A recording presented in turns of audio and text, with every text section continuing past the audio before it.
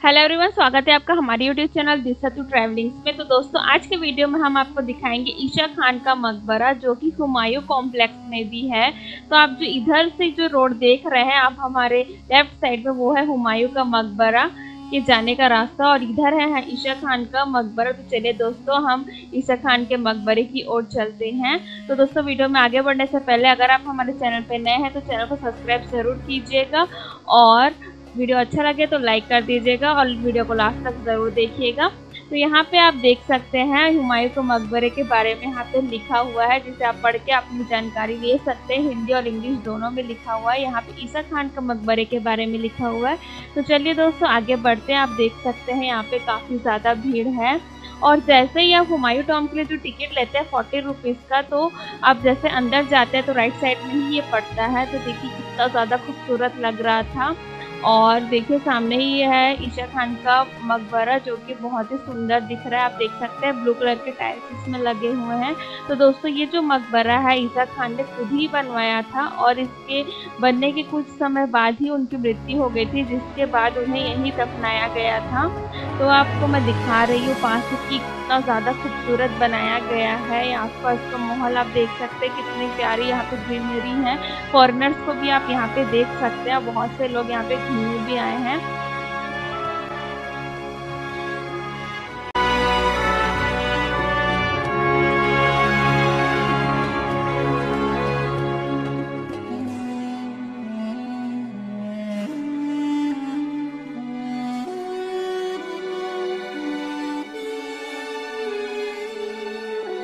तो दोस्तों, हम लोग जैसे ही अंदर गए, यहाँ पे आप ईसा खान का मकबरा देख सकते हैं। साथ में उसके बेटे का भी यहाँ पे मकबरा है और भी साथ में कुछ लोगों के भी मकबरे हैं।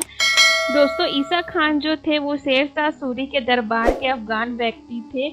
और दोस्तों, कहा जाता है, ये मकबरा 1562 से लेके 1571 के बीच में बनवाया गया है।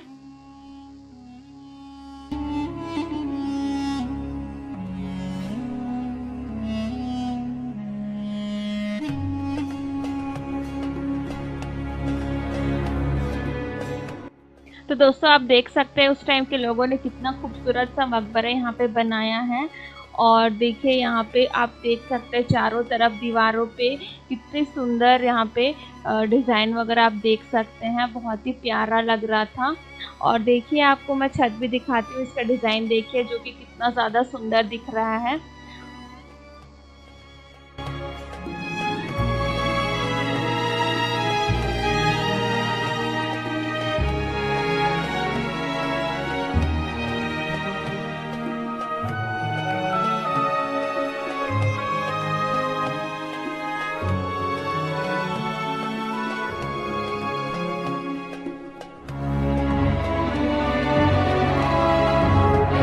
दोस्तों, मकबरा देखने के बाद अब हम यहाँ से बाहर निकल रहे हैं।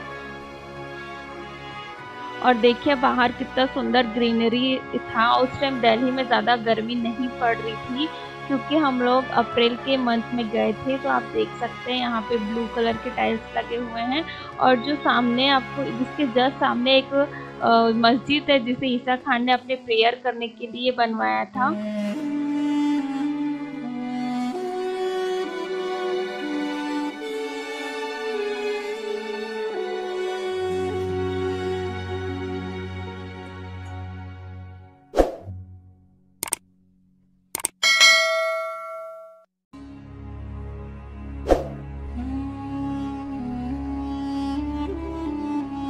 तो दोस्तों, जो आप सामने देख रहे हैं, इसे ईसा खान ने बनवाया था। एक मस्जिद है ये, जहाँ वो प्रेयर किया करते थे। तो आप देख सकते हैं, ये तीन गुंबद वाला मस्जिद है। तो चलिए दोस्तों, इसे हम पाँच बजे जाके देखेंगे।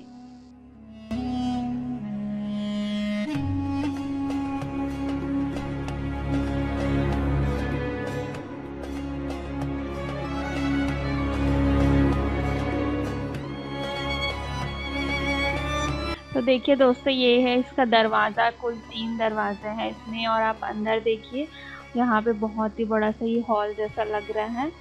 और दोस्तों, ऐसे हिस्टोरिकल चीज़ें देखने में बहुत ज़्यादा मज़ा आता है। काफ़ी इंटरेस्टिंग लगता है कि जैसे कि उस टाइम के लोग कैसे रहते थे, क्या बनाते थे, वो सारी चीज़ों को जान के बहुत ज़्यादा एक अलग ही मज़ा आता है दोस्तों। तो यहाँ पे देखिए, कितना अच्छा अच्छा यहाँ पे डिज़ाइन आप देख सकते हैं। उस टाइम के लोगों ने बनाया होगा।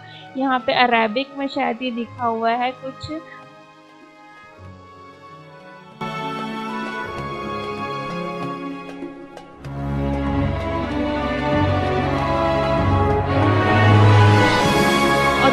शायद ये ऊपर जाने का रास्ता था। कुछ लोग यहाँ पे ऊपर में चढ़ के जाने की कोशिश कर रहे थे, पर वो बहुत ही ज़्यादा सकरा था। इस वजह से हम लोग वहाँ से लौट गए। और वो शायद बंद भी था।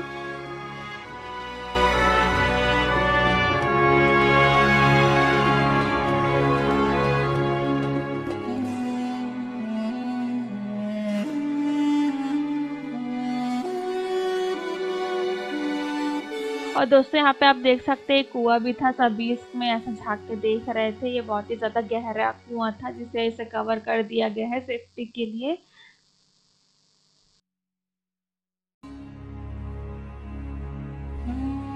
तो दोस्तों ईसा खान का मकबरा देखने के बाद अब हम जाएँगे हुमायूं का मकबरा देखने के लिए, जिसका वीडियो ऑलरेडी मैंने अपने यूट्यूब चैनल पे डाल दिया है तो आप भी जाके ज़रूर देखिएगा वो वाले वीडियो को, जिसमें हुमायूं टॉम दिखाया गया है। तो दोस्तों, ये वीडियो आपको कैसा लगा अच्छा लगा हो तो लाइक शेयर और चैनल को सब्सक्राइब ज़रूर कीजिएगा।